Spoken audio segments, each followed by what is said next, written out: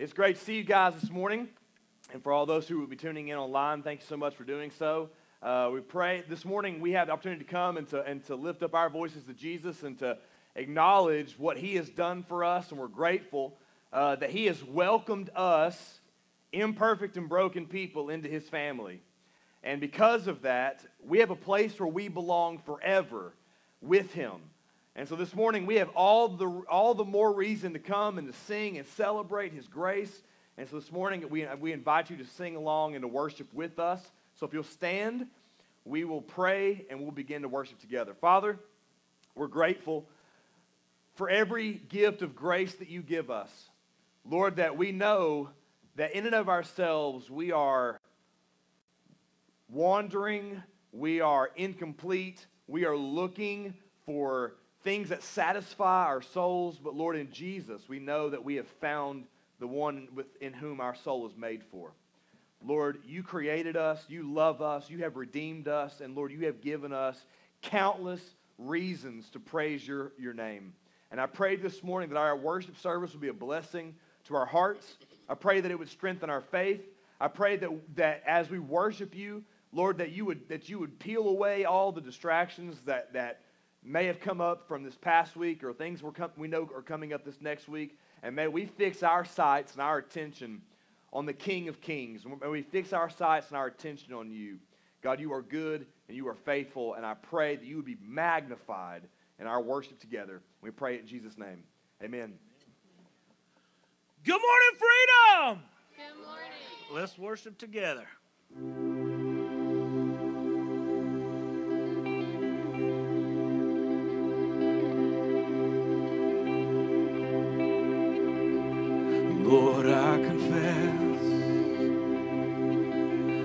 I've been a criminal. I've stolen your breath and sang my own songs. And Lord, I confess that I'm far from innocent. These shackles I wear. I bought on my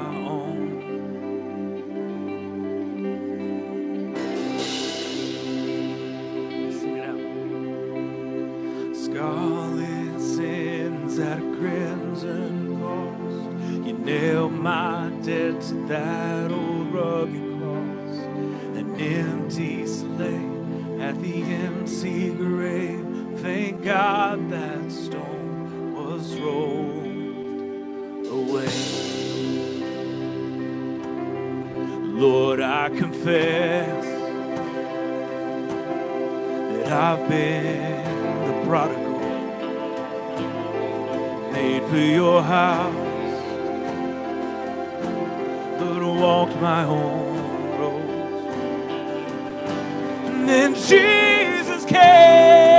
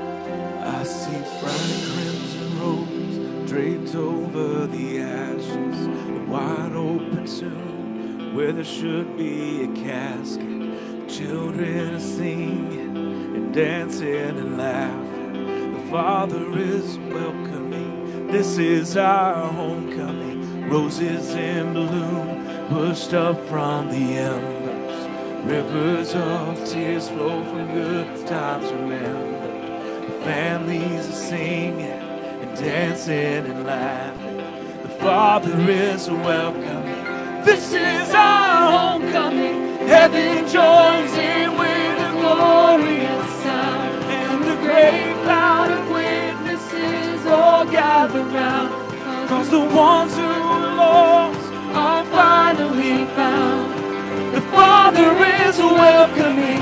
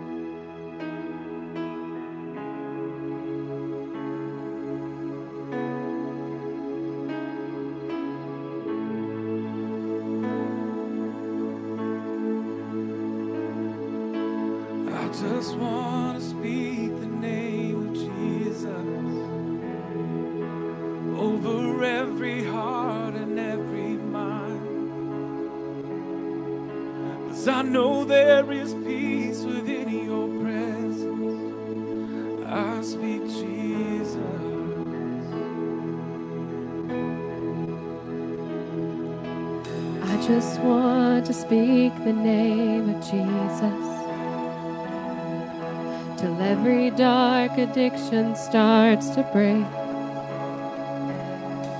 Declaring there is hope and there is freedom. I speak Jesus. Cause your name is power. Your name.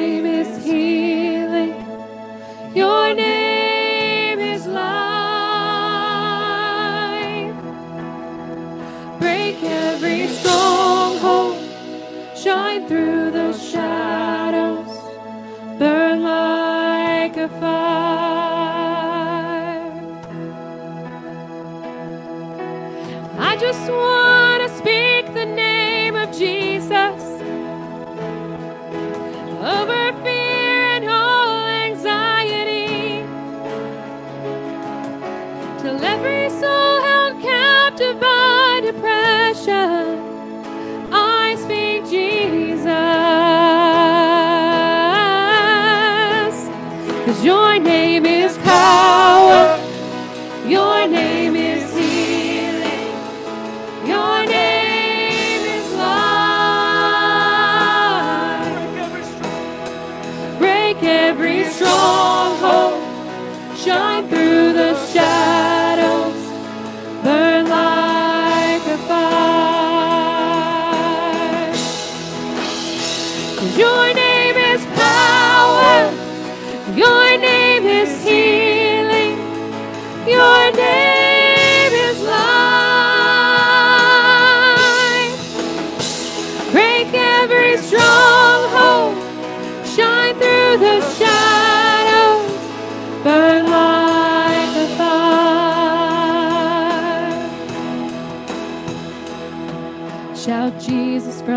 the mountains, Jesus in the streets, Jesus in the darkness over every enemy.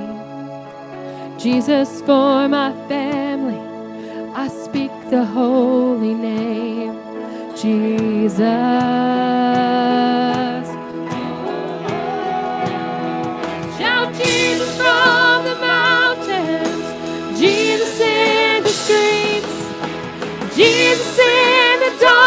over every enemy.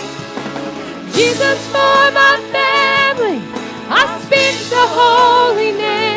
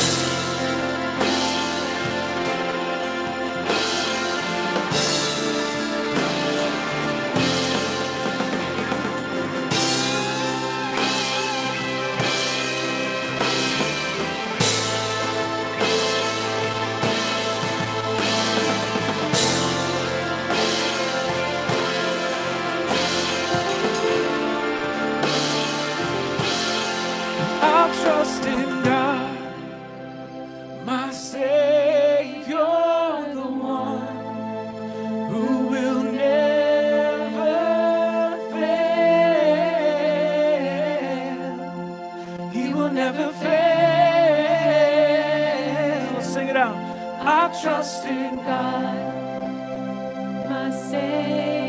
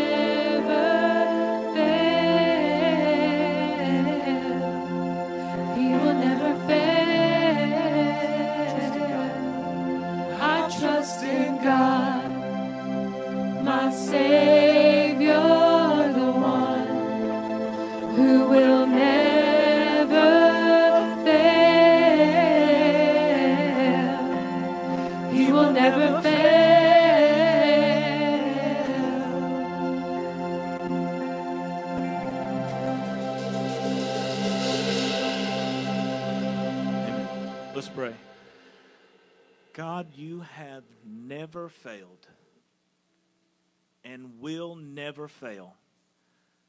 God, help us to keep our eyes on you. Lord, in your perfect wisdom, God, we pray that you would pour into our hearts, God, that we can hear your word and allow it to change us, God. We thank you so much. In Jesus' name, amen.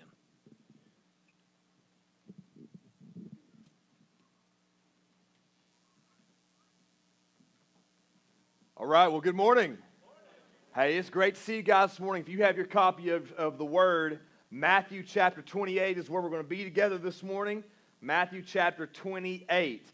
They say that a person's uh, last words, the famous last words, their parting words, are often reflective of, of a person's life, a life that they lived. Because in a person's last words, that they reveal maybe your priorities. Maybe they reveal what you loved, what you regret the most, what you're most proud of, what you stood for. That what you say at the end of your life leaves a lasting impression on those who knew you. Here are some famous last words that I came across this past week. Bob Marley said, Money can't buy life. Winston Churchill said, I'm bored with it all. Mozart said, The taste of death is upon my lips. I feel something that is not of this earth. Baseball player Joe DiMaggio said, I finally get to see Marilyn Monroe. And Steve Jobs said, Oh wow, oh wow, oh wow. This morning we come to what, what we could describe as the famous last words of Jesus Christ here in Matthew 28. His parting words before he goes and he ascends to his throne to take his rightful place as the king of the world after his resurrection. Here in Matthew chapter 28, we find these words that he has given us that has meant to that has meant to spur us on to what is next after his death and resurrection. And here, I believe, and I'm going to submit to you this morning, that these words here in Matthew 28 ought to be valued by his followers and that we ought to take them seriously as he has commissioned us in these words. So, Matthew chapter 28 is where we're going to be. If you'll stand with me, we'll read verses 16 to 20. Here is what Matthew says. Again, following the resurrection, before he ascends to the throne of heaven, here's what Jesus says. Here's what Matthew says. Now, the 11 disciples, because remember, the 12th one was Judas, and Judas was the traitor, and he, ha- and he has, he has uh, left uh, the band of disciples, and he has, he has taken his own life uh, as, a as a result of some of the shame that he feels the 11 disciples went to Galilee to the mountain to which Jesus had directed them. And when they saw him, they worshiped him, but some doubted. By the way, let me just say, I think verse 17 might be one of the most saddest verses in all of Scripture. That here you have the risen Jesus, the one that everybody saw crucified, now come to be in their presence and still some did not believe. Some touched him, ate with him, and yet some still doubted him. Verse 18. And Jesus came and said to them, All authority in heaven and on earth has been given to me. Go therefore and make disciples of all nations, baptizing them in the name of the Father and of the Son and of the Holy Spirit, teaching them to observe all that I have commanded you. And behold, I am with you always to the end of the age.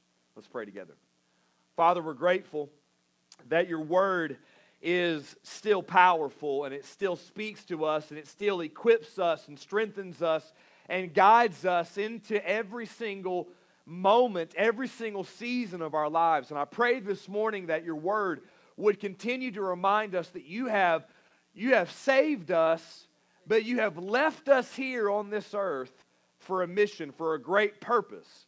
God, you have given us a purpose. And I pray that we would see that here in our text together. I pray that it would impress us into our hearts and our minds and it would motivate us, that we would see that we have all the power of heaven, that we have all the wisdom of heaven. God, that we have, eh, we have, the, we have a call upon our lives to make an impact and make a difference where you send us. So, God, would you speak to us? May we, may we know, may we remember that the reason that we have this power, the reason that we have this good news is because Jesus Christ died and rose again. Lord, may your word speak powerfully to our hearts and our minds. We pray in Jesus' name. Amen. You may be seated. So, this morning we're starting a new sermon series called Live Sent, and we're spending the next several weeks looking at this great outward call of God upon our lives because I want to be just quite frank with us that the longer we tend to follow Jesus as believers in Christ, the longer or the easier it is, I should say, the easier it is for us to begin to drift away from this outward call and for us to become a little bit more focused on ourselves.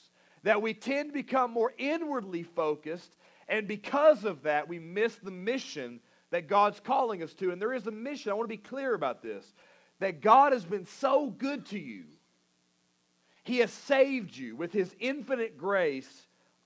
That what He's done is, He has, he has saved you in your life now is meant to be a conduit of grace, not a cul-de-sac of grace.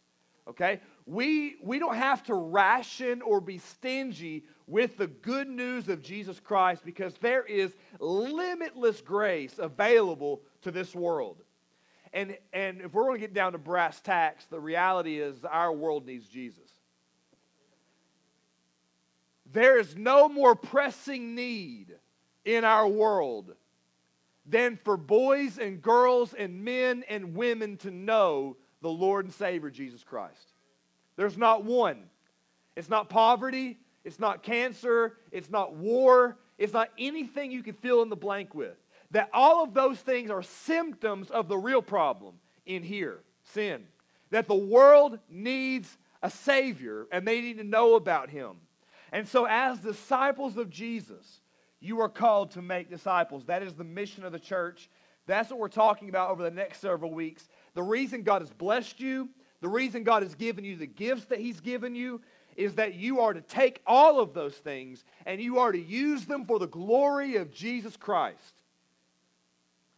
That your life, as, as you have been discipled, as somebody has told you about the good news of Jesus, as somebody has invested their time, their love to teach you and love you and forgive you and walk with you and grow you, that, that everything God has done in that way, we are to turn around and do that for other people as well.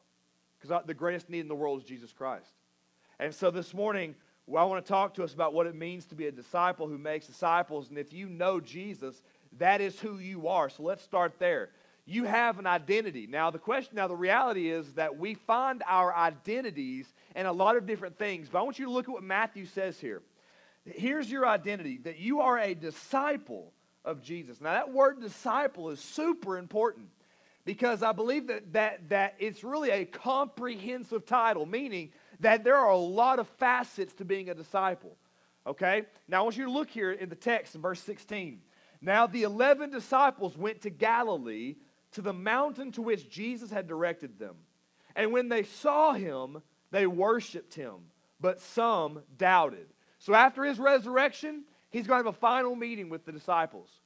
That, that he's going to have a final, final meeting with his band of followers. And notice what Matthew says. They are not just people who knew of Jesus uh, in a cold, distant kind of way. That these are disciples of Jesus. That's, that is the audience here, disciple. So here's the question Who are you? Who are you? Now, when somebody asks you who you are, that, or maybe you're at a, a at a meeting, you're at a dinner, and you're asked to, to describe yourself. A lot of times we, we wrap up our identity in things like who we're married to, or what we do for a living, or who our kids are, or what we like to do in our free time, or we like to, we like to wrap up our identity in our past accomplishments. So I was a I was a, a, an, an all conference basketball player, or whatever it may be. Right? We like to find our identity in things and people. But while those things may be important, who you're married to, who your kids are, what you do for a living, those things are not insignificant. Those things ultimately don't define you.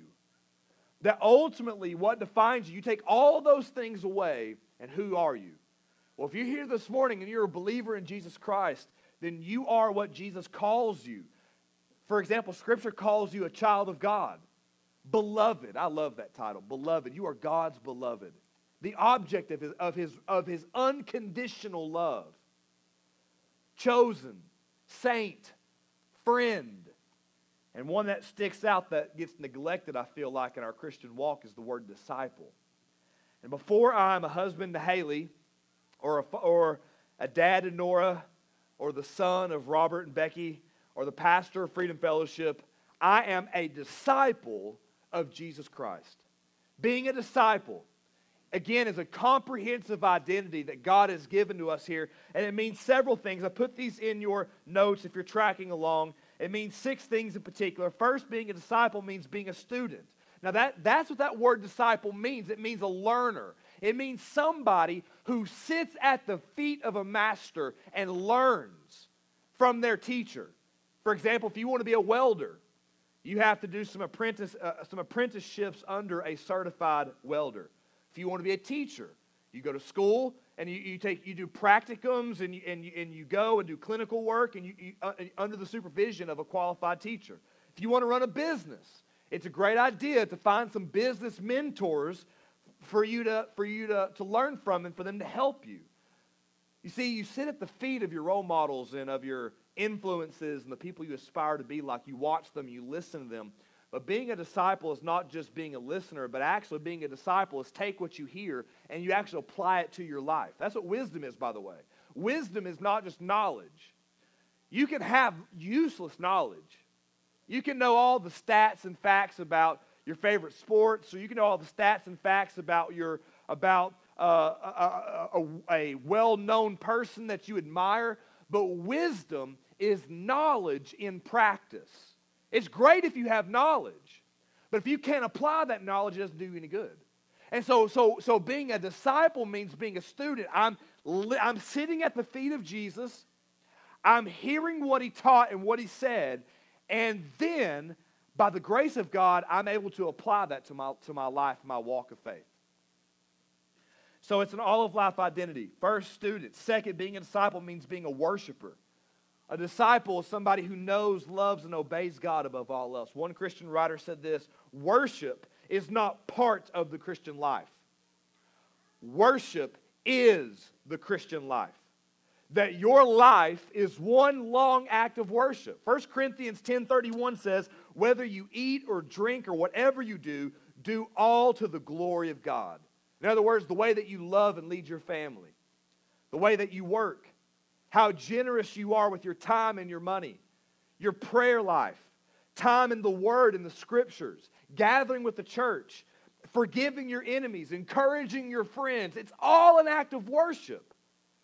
That worship is not an event that we come to on Sunday morning, though it is, I think, important that we sing together and we encourage each other and we, re- and we remind ourselves we carve out this time and we remember who the Lord is and we get filled up spiritually. That's important.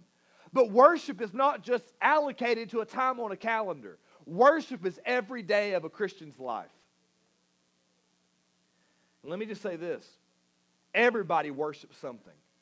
Everyone's a worshiper of something. Again, sports, politics, money, the way they look, the stuff they own. Everybody worships something or someone. And as followers of Jesus, because we're disciples, we worship the Lord. Third, being a disciple means being a family, family member. You're not just a believer in Jesus Christ, but you're a belonger. That you have a place where you belong. That, there, that, that, you, that your name is on the family roll of heaven. That there's a family you belong to because in our very divided and disjointed world, Jesus is creating and redeeming a family. He's the leader of that family. He has made a place for you to belong here now in the church and, and in the future in heaven with Him. I, I just personally, man, I love the church. I, and I, I mean freedom, but I mean the church, period. I mean believers. I mean the family that God's created all across the world, every tribe, tongue, and language. I love the church. And the reason for that is, is because what God has done is God has taken countless billions of people who were condemned and hopeless and lonely and sinful and suffering, and He has saved us by His grace and created a family of selfless love and joy and hope and, and, and forgiveness. That there was a Gallup poll that was done in, in 2020. Now, y'all, I, I mean, 2020 was, I mean, this that craziness was three years ago. And quite honestly, the, we still feel the effects of it today. And the reality is that a Gallup poll was done in, in, after 2020, and it showed that all of the ways you could break down people in our society, whether, whatever political party they were, uh, whether they were male or female, what their skin color was, uh, where, where they lived uh, geographically, that you could break all those things down and they asked all the all kinds of different people how well are you doing mentally how well are you doing in the midst of all this craziness and the only positive people in that uh, in, in that gallup poll were people who were actively belonging to the church. It was amazing to me that there's something unique that this world cannot provide for you. We look for a law, we look for acceptance and love, and we look for direction, and we try to find groups that we can be part of, but there's no family like God's family. And if you know, if, if you knew my biological family, you'd say amen to. I love them.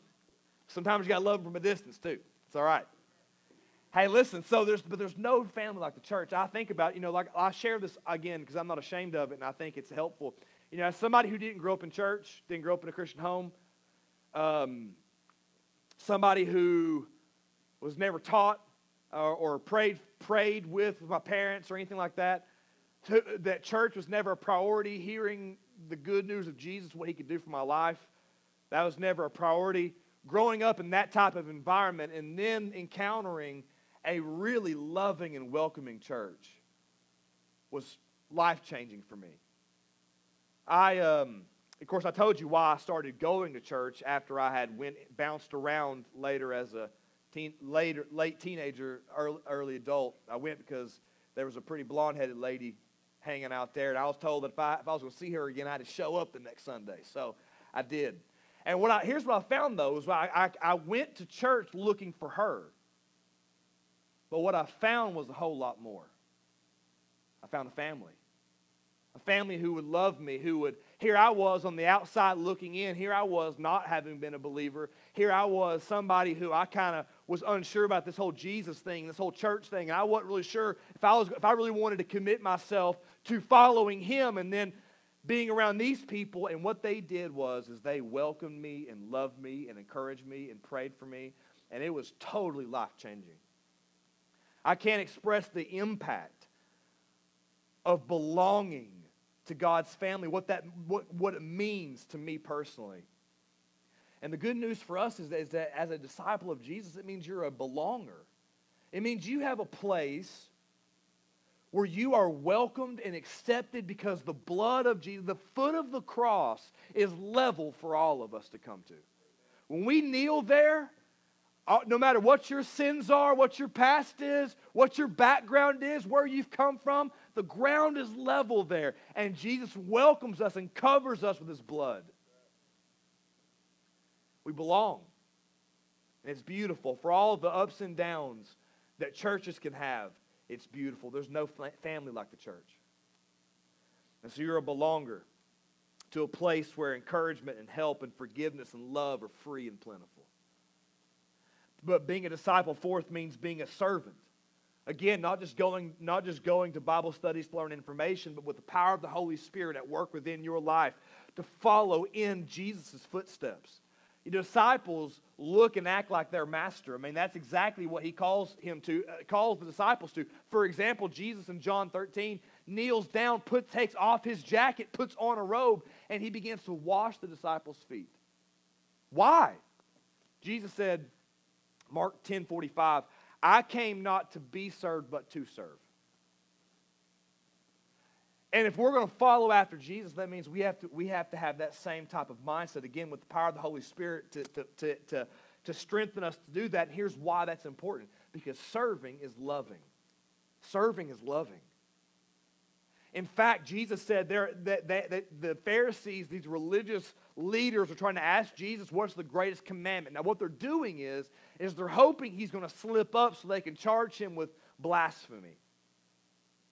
And Jesus says in Mark chapter 12, he says, the, the, the first is this that, that you love the Lord your God with all your heart, soul, mind, and strength. And the second one is like it, that you love one another as yourself.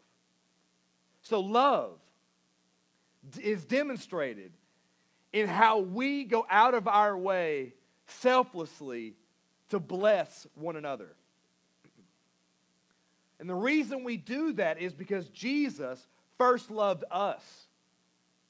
And so being a disciple is, is someone who's in action, someone who's, who, who's moving. It's someone who is doing and, and, and not doing out of a place of, I'm earning my keep with God. You can't earn your keep with God. Jesus said, It is finished on the cross. He paid for it all. You don't have to, you, there's nothing you can do that can add to what Jesus has done, and there's nothing you can do to earn God's love. That in the death and resurrection, he, he accomplished that. He secured that for you. So, what we do then is, is because He loved me, I live out of the overflow of that and I can love and serve you. So, it means to be a disciple. The fifth way of being a disciple is being a steward. You know, everything that you have belongs to God. You don't own anything. You don't own anything. Everything you have, He gave to you in the first place. Without Him, we would have nothing. Your money is not yours. Your time is not yours. Your talents are not yours. He gave them to you for a reason, and that is to, that is to glorify Him and to, and to live out His purpose for your life. That God has blessed you so richly so you will be a blessing to others so other people will know the goodness of Jesus. It's not about being a collector of things. Because one day you'll die and you'll leave it all behind.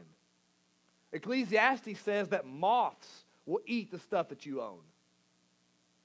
That everything that we own are the future things of garage sales and, and, and garbage dumps. It's not about being a collector. It's about leveraging what you have being, and being a good steward so people can know the goodness of Jesus.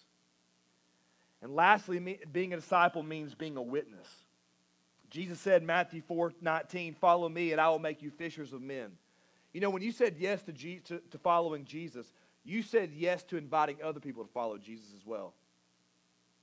Because you have experienced the amazing grace of God. Therefore, because that amazing grace has so changed your life, Jesus is calling us turn around and invite other people to experience the amazing grace of God. That's what it means to be a disciple of Jesus Christ. That's our identity. It's all of those things. That being a disciple of Jesus is an all of life, every area of life, 24 7 identity. And it's given to you for a purpose. And the purpose is found here in, in, Matthew, in verses 19 and 20. And the purpose is to make disciples of Jesus that who you are and what you have, have, have there, there's, there's, a, there's an end game. God is doing something in your life. He's, he's, he's, he's moving all of us. If, you're a, if you belong to Christ, He's moving you into, into, into, this, into this, this idea of getting off the sideline and into the game.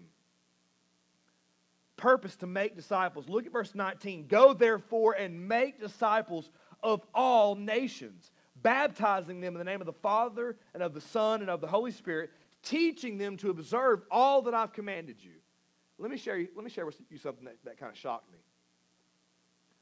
What shocks me is, is in 2018, a study by the Barna Group was done that reported that 51% of church going Christians, not, not 51% of people in America who call themselves Christian, 51% of churchgoers say they have never heard of the Great Commission.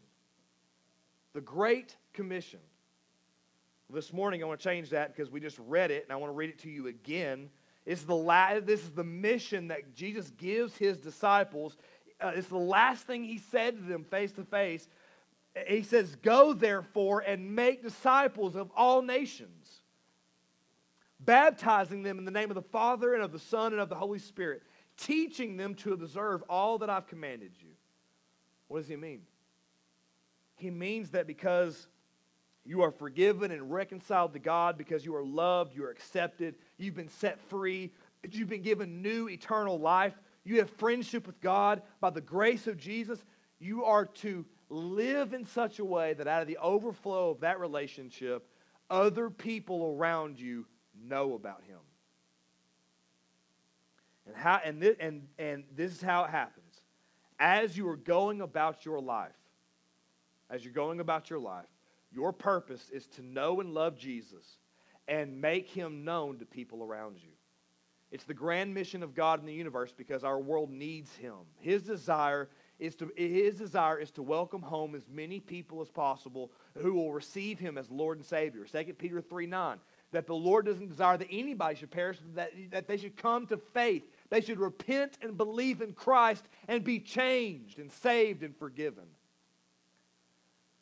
Making disciples is you, a disciple yourself, helping someone come to know the life changing love and truth of Jesus and helping them to grow in that love.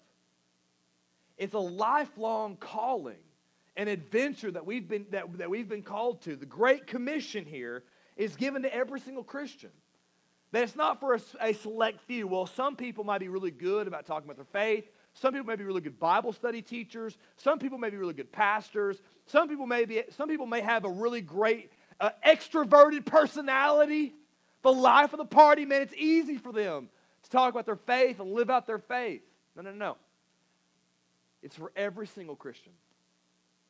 You are called to the mission of, uh, of being a disciple who tells the world about the good news of Jesus. In fact, it's not just for a few people, it's not just for pastors, it's not just for the people right personalities. It's for you. Second, uh, uh, Titus 2, Paul tells older women to train younger women. Titus, uh, 2 Timothy 2, uh, men, that leaders in the church to train faithful men so they can train others. Ephesians 6, fathers, train your children. Matthew 28, as you're living and moving and breathing and, and going throughout this world, make disciples. It's for everybody. That we use our time, talent, and treasure to serve people and build people up and encourage people and, and teach people and tell people about the, good, about the goodness of God.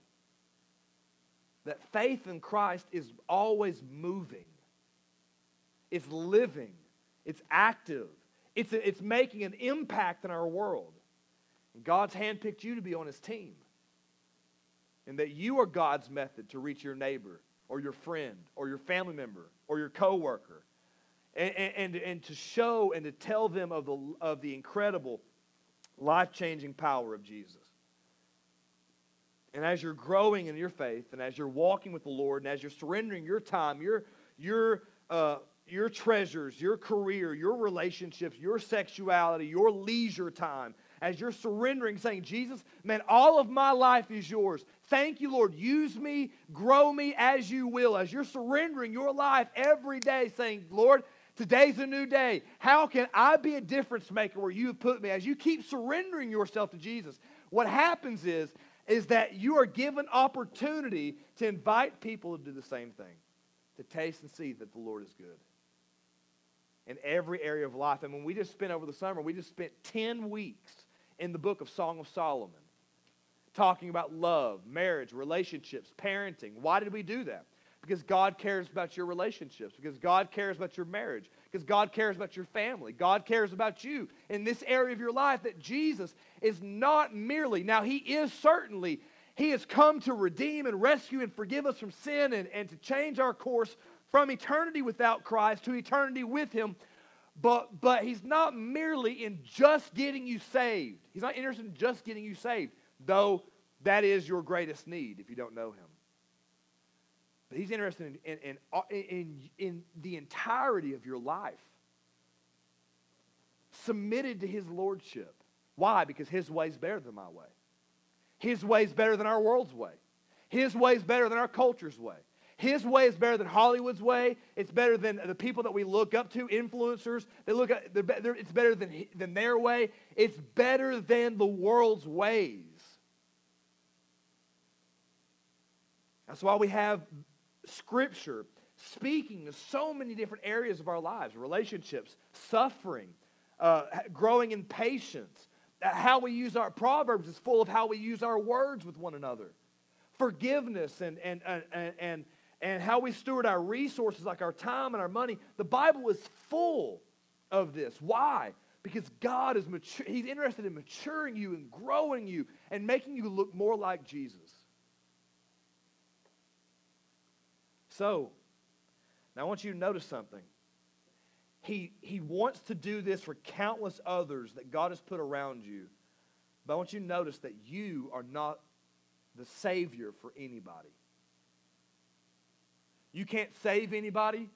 You can't change anybody's life. You don't have that type of power. But Jesus does, and Jesus says in verse 18, All authority in heaven and on earth has been given to me. So as you're going, you're not living in your own strength. You're not going about this un- kind of uh, uh, freely where you're you're trying to make up the rules as you go, but that Jesus, the King of heaven and earth, has commissioned us and he is with us. Verse 20 says, I'm with you always to the end of the age. How? Through the Holy Spirit, who empowers us to live a radical life of loving Jesus and loving other people. That's his plan for this world, that our world needs Jesus. That God calls you forward to carry the name. That you would go into our world with conviction and courage so that men, women, boys, and girls would find hope and healing and salvation and freedom and purpose that they've, that they've been looking for. And that they would grow in their faith in Jesus. In fact, Jesus said in Luke 15 that all angels, all the angels of heaven, they rejoice when one sinner repents. And it's just as praiseworthy to be walking with people as you're investing in their life because you're not ashamed of the gospel, but because you're a disciple who's growing and you're inviting other people to tag along and to, and, and to know Jesus and grow in Jesus. It, it's just as praiseworthy to see people walk in the abundant life that Jesus has for them too. That's real discipleship. Church, people are desperate for good news. I, I, mentioned this a few weeks ago. There is no good news on television.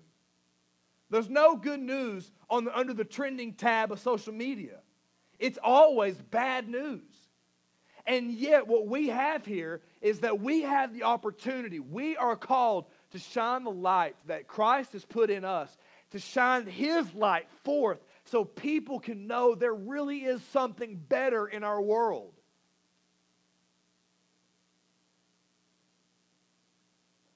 That people all around us are dying of spiritual thirsts.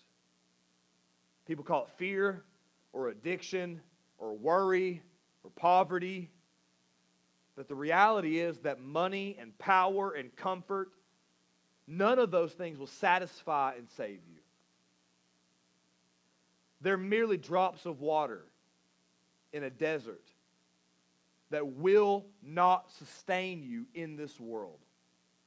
But what Jesus does is Jesus says, Hey, I've come and I'm offering you a, a streams of living water that will not only change your life, but deeply satisfy your heart.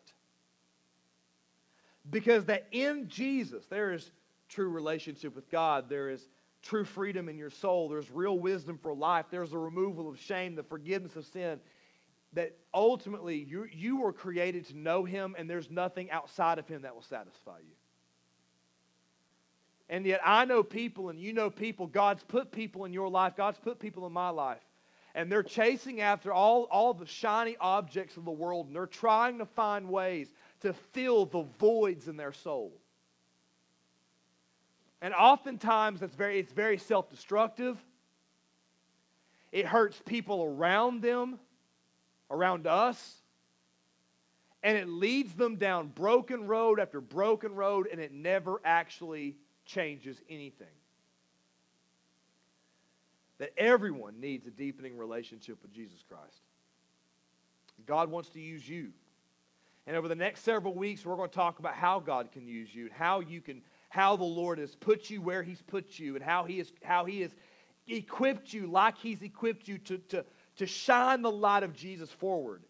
And what I want to do here this morning is I want to talk, I want to give you six ways to leverage your, your weekly rhythms, the things that you're already doing as a, kind of as a Kickstarter for this series. And so there are six rhythms that, that you do every day in your life that you can leverage to be a, to be a disciple who makes disciples. You, there are six things, six areas of your life that you can leverage that you don't have to add anything new to your schedule because let's, let's face it, we're all really busy. Some of us feel like there's, we can't add anything else to our schedule. Awesome. Not asking you to. It's just a matter of changing your perspective on what you're already doing. And so Here's how we can be more intentional as husbands and wives, as parents and kids, as teenagers, with friends, coworkers and bosses, coaches and players, retired old guys drinking coffee at Hardee's. Here's how you can do it. Okay, six easy ways. Okay, things you're, you're already doing that, that God is that God is that God is showing us that we can be intentional about, again, and we can start making an impact. The first one is eat. Some of y'all are like, well, I like to eat. Awesome. Eating. Everybody in here eats.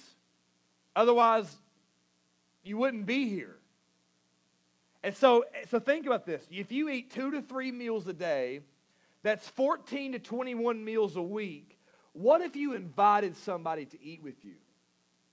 What if you invited somebody, maybe on your lunch break, or have somebody come over to your house for dinner? And you can, because the reality is, is that when you, when you at, a, at a table where there's food, it's, it's kind of, it's pretty, it's pretty disarming. You kind of have really, really open and honest conversations about anything. They say don't talk about religion and politics like at Thanksgiving dinner. Maybe not the politics part, but the religion part, you sure can. Okay? Like you should talk about Jesus. Like, what if we you, you what if you leveraged your meals and you invited somebody a couple times a week just to have just to have lunch or dinner with you?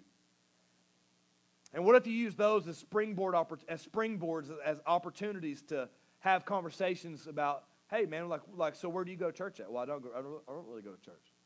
Okay, well, are you are you a believer in Jesus? Well, you know, I mean, you know, I've, I've heard about him and I really don't know. And like you can, you can talk and be like, well, let me tell you what Jesus has done for me. Here I was, I was a teenager, I was a teenager who hated God, and, and, and I experienced my, my fair share of depression and anxiety. And here I was trying to find fill the void of my life with all with all the wrong things that I could possibly find to, to plug that void. And it was amazing that God put this person in my life and told me about Jesus. That God put that person in my life, told me about Jesus. I still didn't believe, but then I met these people, and then they start talking about Jesus. And and and but you have you have opportunities to do stuff like that around a dinner table, around the lunch table. So eat is a great, is a great way to disciple people and to invite people to follow Jesus. Second, a second way to just to, to have an impact is to listen. Listen. A lot of people are talking, not a lot of people are listening.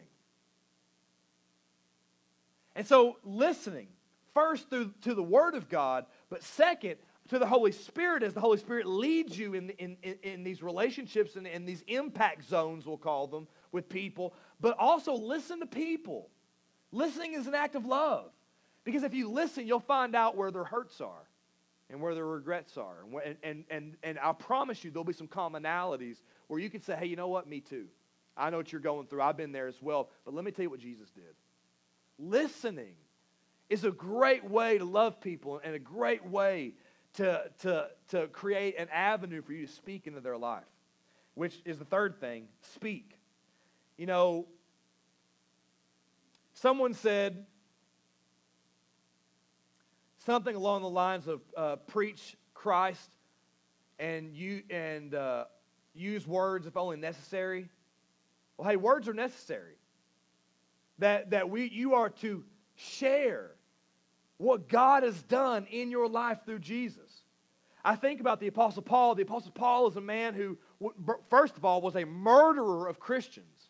So some people, I, some people say, well, I just don't think God could love me or forgive me. Time out, wait a second. Whoa, whoa, time out. You ever, killed anybody? I don't mean like hate in your heart, like Sermon on the Mount kind of kill people. I mean, have you ever physically killed anybody? No? Well, well, Paul did, and God forgave him and made him the greatest missionary the world's ever known, telling the world about Jesus. So if God can say, Paul, trust me, whatever your sins are, they're probably junior varsity compared to Paul, okay? So, so here Paul is. Paul is a murderer of Christians. He has an encounter with Jesus, and then God sets his heart on fire for the world to know the grace of God. And so Paul will not be quiet about Jesus. In fact, it gets him into a lot of trouble. He's, he's stoned several times. He's been beaten with lashes. He's been shipwrecked a couple times, snake bitten. You're kind of, if I was Paul, I'd be like, God, here I am doing this for you. Are you serious? Again? I, I mean, another, another snake bite, and uh, more people who want to kill me. Lord, again, my ship has run aground again. Can we not avoid the iceberg? I mean, what's happening here? Paul is preaching, and he won't stop preaching. He's on trial in the book of Acts three times for his life. Now, if I'm on trial for my life, and if I'm ever on the news, if I'm, if I'm ever on trial for my life and I'm being quoted in the newspaper, you are going to hear me strongly defend me. Okay? I mean, I'm going I'm, I'm, I'm going to give it both barrels all that I got. Okay? I'm going to I'm going to talk about everything I've done that is good, right, and, ho- and holy. I'm going to try everything I can to get my way out of the situation. Right? So that natural self-preservation, right? We all have that. But Paul, as he's led by the Holy Spirit, is on trial three times for his life. They're going to, they're going to execute him. Three trials, four different kings and judges. And they asked Paul why he keeps preaching about the resurrection of Jesus. Why do you keep talking about it? We told you to stop, and you keep doing it, and, you, and you, you're causing these riots, and, and people are getting upset. Why are you talking about Jesus so much? And instead of defending himself, what he does is each of those instances, he takes the opportunity to plead with the kings in the courtroom. He, he takes the opportunity to plead with them to turn to Jesus. Here he is. He, he, he, they're giving him a chance to speak to save his own life, and he's not interested. Hey, listen, you can kill me, but you, you can kill my body, but you can't kill my soul. Let me tell you about the one who loves my soul and who has secured my soul, and he's telling them about Jesus. Hey, you know he, you know he was crucified? As he predicted, he rose again, just like he said he did. He did all these miracles. He, he has done all these, he has forgiven sins. He's done all these wonderful things. You should receive him as well. That's his message three times on trial. Hey, being a, being a Christian means speaking.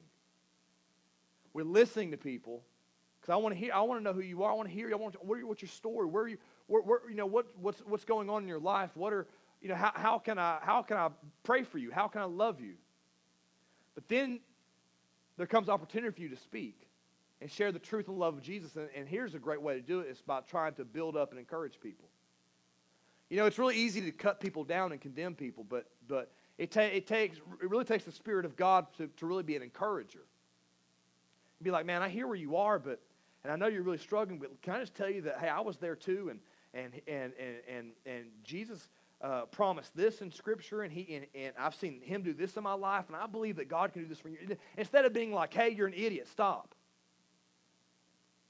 Like that, like that's not that's not that's not a very compelling way to be a disciple of Jesus. Now, sometimes it may be warranted, but maybe not uh, not always should it be said.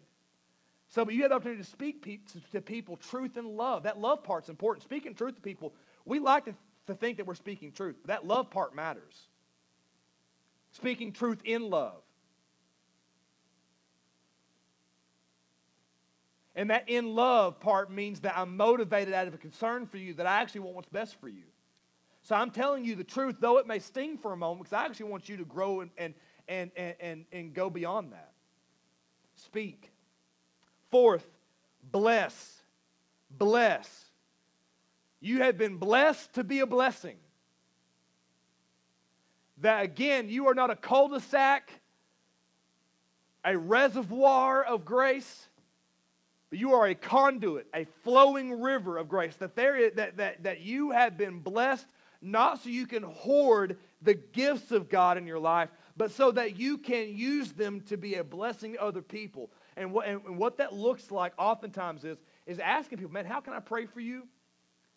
Maybe offering somebody a, a tangible gift uh, for someone in need. That's why we have a food pantry. That's why every week Caitlin and, and, and, and some other folks who help her, they, we, ha- we, we have a food pantry. Why? Because we want to be a blessing. Because we want to give back a little bit of what we can to, in order for people to see the love of Jesus in us. In a tangible way, a small way. Maybe it's a financial gift. Maybe you buy somebody a meal. I used to like to carry balls of water in my truck that way I could hand out balls of water to people. People always get, I'll, I'll, it's like I always get stopped at red lights. I don't know about you. It's like I never can have a succession of green lights. And every time I stop at a red light, there's always somebody around. And I, so I, so I, I told, hey, listen, I'm going to start buying balls of water and putting them in my truck. When they come up to my window and ask for something, I'm not going to give money, but I'm just going to pull out a ball of water and I'm going to say, hey, you know what? And I'm going to use that opportunity to say, how, how can I pray for you? Um, or, or maybe I'll, I'll hand them something about our church, and I'll say, you know, I'd really love to talk to you some more. And, you know, just something. There's a tangible way you can be a blessing to somebody. Again, I'm just trying to invest to have an. I'm trying to invest in somebody's life to have an impact. Maybe it's maybe small and insignificant, but I promise you. I mean, like I think about this. I think about. Um, I think about like I played basketball growing up, and so I, I think about the impact that small things had just in my basketball journey. For example, I think about certain things. Like I remember certain things coaches said to me, po- positive things and negative things. Positive things, uh, uh, and like awards they gave me or whatever it may be. Little small things that that are that seem insignificant, but that were tangible and that mattered to me, and that had that had a in that moment it seemed as the giver unimportant, but as the recipient very important. You're blessed to be a blessing to somebody. Somebody, somebody, God's put you in somebody's life for you to bless them. And it might not be a, a Channel 6 newsworthy, Facebook post going viral kind of way, but opportunities all around you. The fifth way to leverage what you're already doing is to celebrate. Celebrate. You know, we celebrate all kinds of stuff birthdays, anniversaries. There are 10 major holidays in our country. We're always, we're always gathering together. Thanksgiving, Christmas, New Year's, some of you, some of us, New Year's. Uh, yeah, Easter's a good time people get together. Valentine's Day. Um, I mean, you know, Labor Day, Memorial Day weekend. I mean, like all like the Fourth of July. There's all these all these ways that God that we we celebrate and we do things with people, groups of people around us. What if, by the way, you celebrated, people saw the joy of the Lord in you? That you really live life joyfully, not because your life is good, but because God is good when life is not. What about that? How, how, how impactful is it when you, when, when, you, when you know somebody who's suffering with cancer? Still maintaining a positive mindset, a positive, and, and, a, and a positive tone because they know that in the end that they're winners either way, whether they're, they're, they're healed or they'll be healed. In Jesus, you're never a loser. So it's amazing to me that that, that, uh, that, that you have opportunity to celebrate and to, and, to, and to radiate the joy of the Lord. Again, it's, it's, it's all the time in our lives. We should be, as Christians, we should be the most joyful people on the planet. Why? Because we know the end of the story.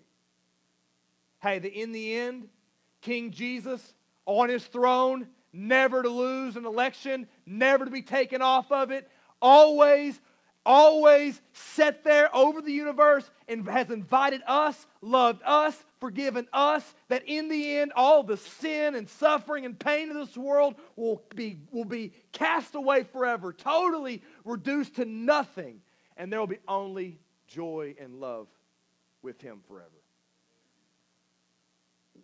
He, he's overcome, we're overcomers. We should be the most joyful people on the planet.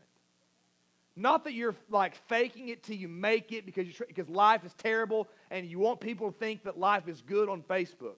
I'm talking about that, that there is deep joy in the midst of all the ups and downs of life. And we should celebrate like other people.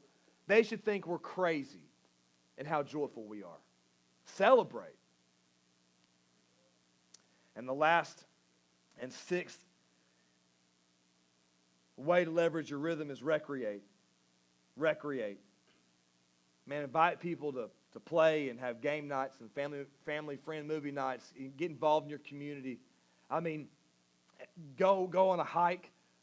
Invite some people to go with you. You know, if you like to, if you like to go to the gym, invite people to go to the gym with you. I mean, you know, there are all kinds of ways that you can invite other people to tag along and for other people to see Jesus in you. In your recreation, it happens too. And so let me just encourage you with this as we get ready to close. Discipleship is really, being a disciple and growing in your faith is really an all of life comprehensive reality. That it's who you are, it's what you're called to, to love people and lead them towards Jesus. And, and then not just that, not just stop when they come to know Jesus, but to invest in them and, and, and, and this, in these relationships and see them grow and help them. Because we all need that. The re- hey, the reason you, you're here today is because somebody loved you and invested in your life.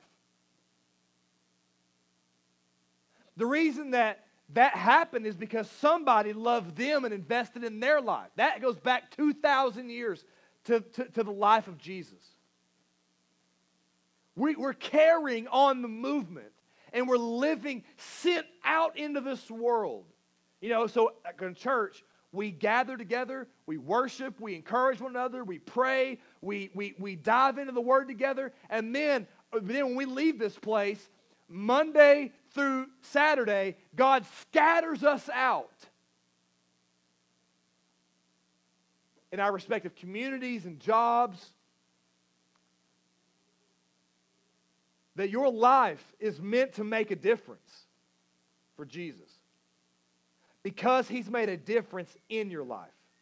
So this morning, I'm, I'm asking you is that will you commit to growing with me and growing with the word here over these next several weeks and, say, and surrendering yourself say, Yes, Jesus, I want to be a disciple who, who is growing, who is inviting other people to tag along and to know you and to have their life change as well. That's your purpose. Will you commit to it? Stand with me. As we enter into time of invitation, I'm going to, I'm going to ask you that you would bow your heads, and as the band comes, I just want you to know that God uses ordinary people, broken people, traitors, flawed disciples. He uses ordinary people in extraordinary ways. And it's not because I'm so special that God just can't do without me. It's because God is so good and His grace is so amazing that it's changed my life and it is it, it is bubbling up with hope and with love and with joy for the Lord and and, and, and for other people that that God that God simply asks us to be available. God will give you the words to speak. God will give you the, the next right thing to do. But will you simply be available, saying, Lord, I want to grow. I want to, I want to follow you. I want you to, to use me to have maximum impact where you've planted me.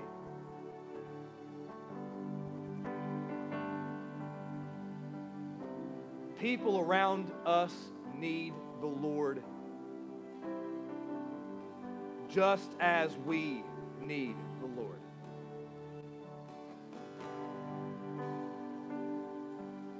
So, will you commit to shining that light of Jesus to the world around you?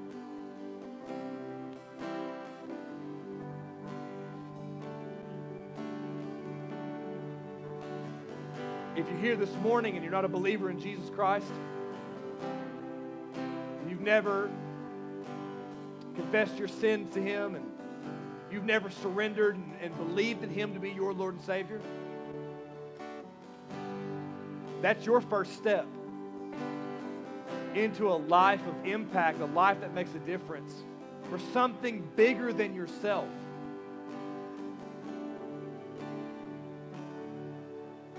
So if that's you this morning, right where you are, or if you'd like to come, I'd love to talk with you up front to the right. Will you give your heart to Jesus? Maybe you've been in church your whole life, but you don't have a personal relationship with Him. You can today.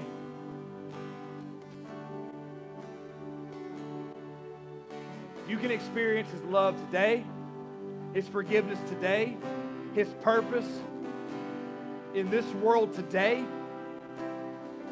if you'll receive Him. You don't have to do anything. You don't have to earn your, earn your place with God. You don't have to clean yourself up before you come. That Jesus Christ has done all the work for you. And it's simply saying, Yes, Jesus, I'm a, I'm a sinner. I need you to forgive me and save me. I believe you died and rose again for me. A simple prayer, prayer prayed like that in faith, just to receive Him and surrender to Him. That's what he's looking for. He's done all the heavy lifting, he's done all the work. But he invites you into a life, the blessed life of relationship with God this morning. You're a believer in Jesus Christ, will you begin to ask the Lord to help you surrender and just commit yourself to being available and to being used by Him for His glory? At school, at work, in your neighborhood, in our church.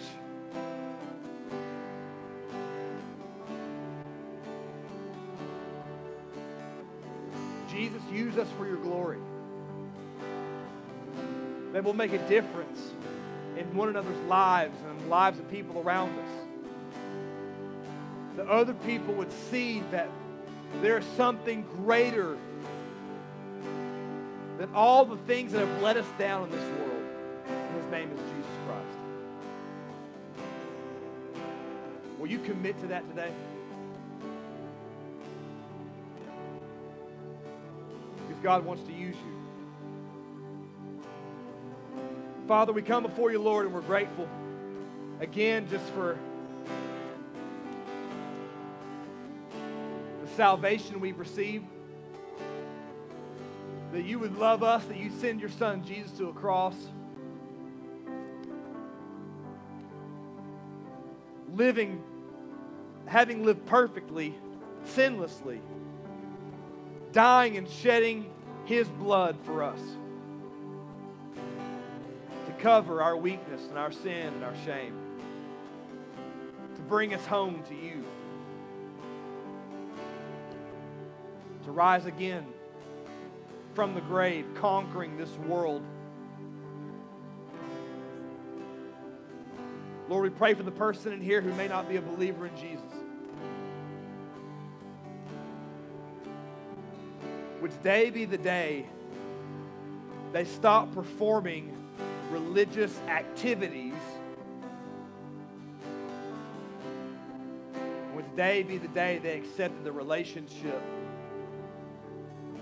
that you're offering them? They would confess their sins and they, and they would call out to you and ask you to save them. And Lord, we know that your word says that you will not turn anyone away who comes to you.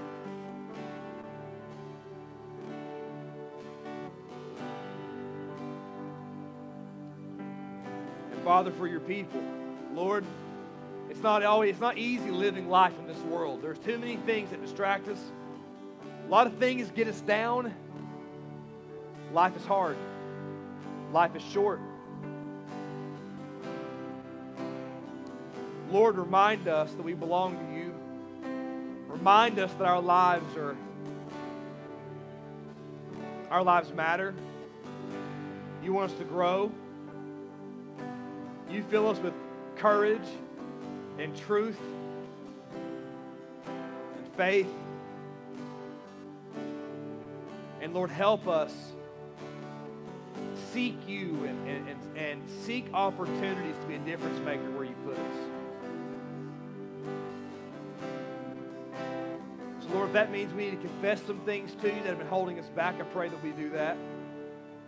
Lord, if that means we lay some burdens down that we've been trying to carry that have been distracting us, I pray that we do that as well.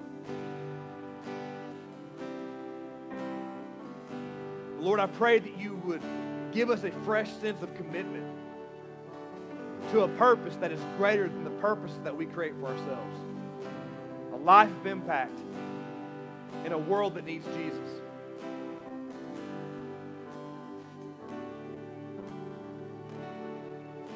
Lord, help us. Help us live for something more than ourselves. May we commit to it this morning. It's in your name we pray. Amen.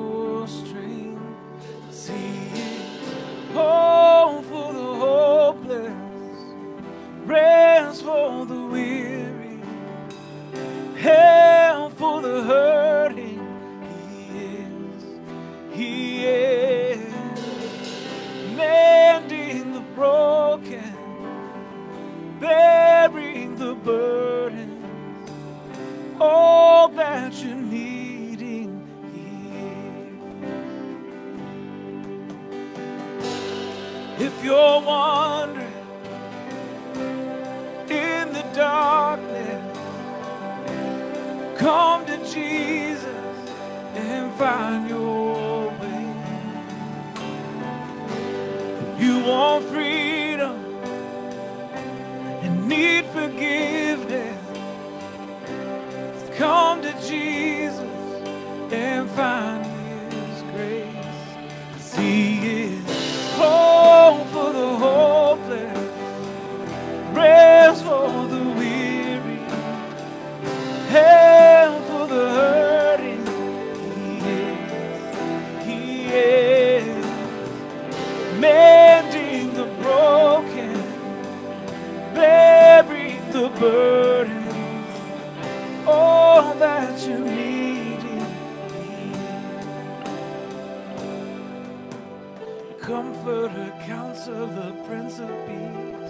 author and maker of everything, defender, deliverer, king of kings. He is, he is, helper and healer forevermore, savior and shelter through every storm, my refuge, redeemer, the Lord of lords.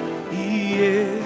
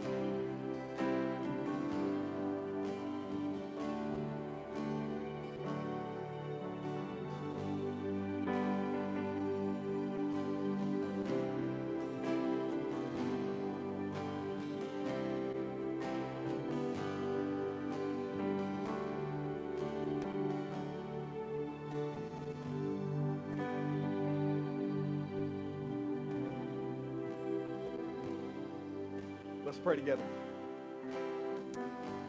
Father, again, we're grateful for uh, for a life that we do not deserve, that you have freely given to us. It's free because of Jesus. I pray that you would give us the spiritual eyes to see people help people and to share the truth and love people and so people would know that there is, um, there is hope in this world. And that hope's name is Jesus Christ.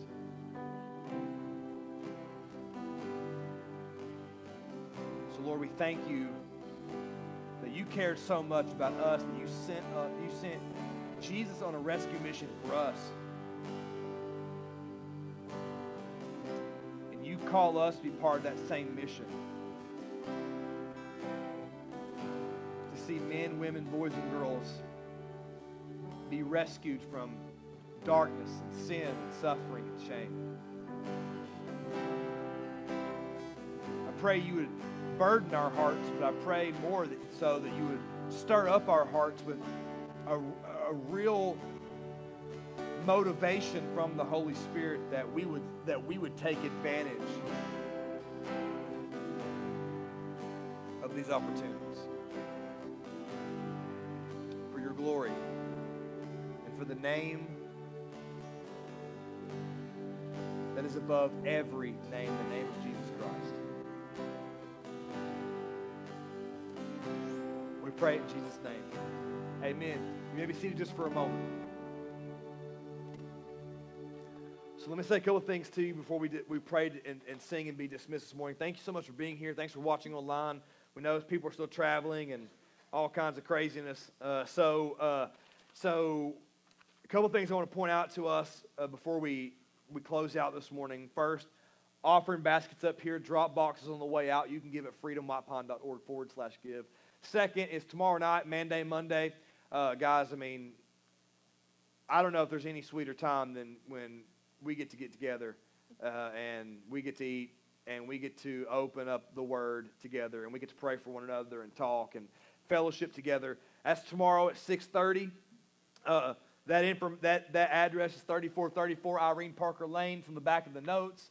Uh, it's literally, literally a hop and skip behind Food City, across the street. I mean, take take you one minute to get there from here. So um, it's on, it's at the Wright Farm, and so that will be awesome uh, tomorrow evening as well. And so pray you can come to that and um, and make that. So also too, let me just encourage you Wednesday Wednesday evening Bible study, Wednesday evening uh, kids youth all happening this week, normal times. Um, and on August 27th, Hannah Cole is having a baby shower. Hadley is uh, uh, the her daughter's name, and she's still several weeks away. But we want to we want to bless her with some gifts and so, and our support. And so the 27th is the plan for that.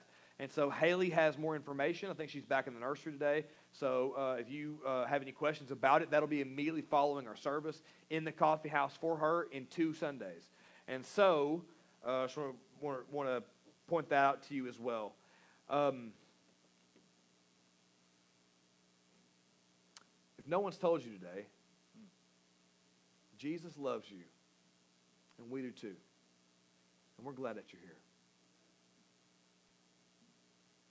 Let's leave this place today and live sent out into our world for the glory of Jesus. Will you stand with me?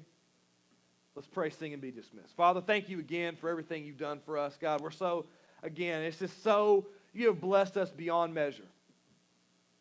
Blessed us beyond measure. And yet, Lord, we know that, we know that you have been rich in mercy towards us.